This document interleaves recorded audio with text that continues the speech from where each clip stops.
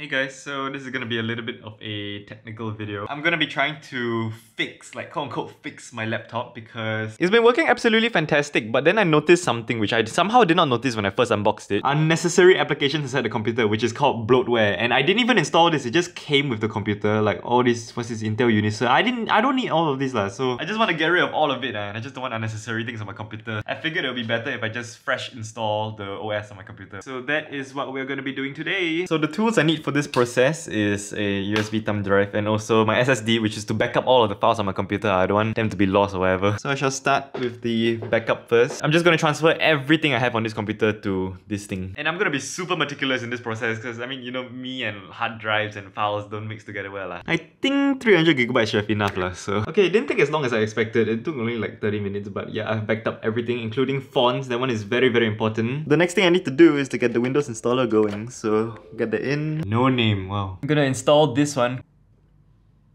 Okay, my thumb drive is ready. Finish. Unplug.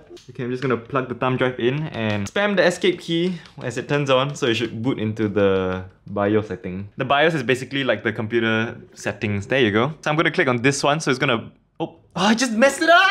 I messed it up, we gotta do it again. And I'm gonna click on this one, so it's gonna start up with the thumb drive, which is the installer for the Windows 11. it is, the screen is so bright. I just realized I can't use the trackpad.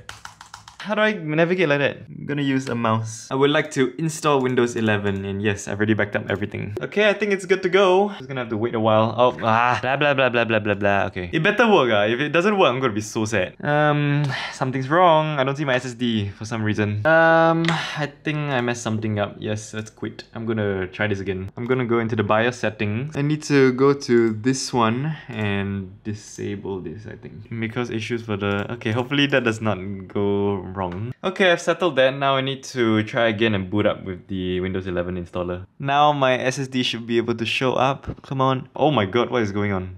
Uh...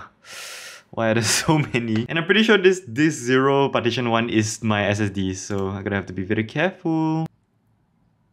Bam! Everything is gone. I guess there's no more turning back now. Okay, I'm gonna install it now. Ready to install? Yes? Okay, install. Finally! Oh my god, that took so long. I shall come back once it's finished installing. Oh wait! It just... Oh, never mind. I thought it was ready. okay, I think it's almost ready. It's been less than 10 minutes actually. Oh my god. Yes! It's ready. Uh...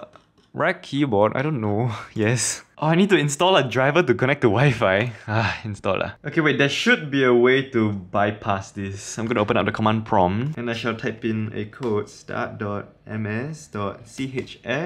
local only. Okay, in theory, this should work. Okay, it worked. I have the I don't have internet button now. Hopefully that just allows me to... yes! Okay, it works! So this is actually making me create a local local account, which means I don't need to use my Microsoft account and all, which apparently is better, lah, but I'm not sure. Oh my god, please, I really need this to work but the trackpad is still not working, uh, which is very bad. Okay, I guess I'll have to wait a while.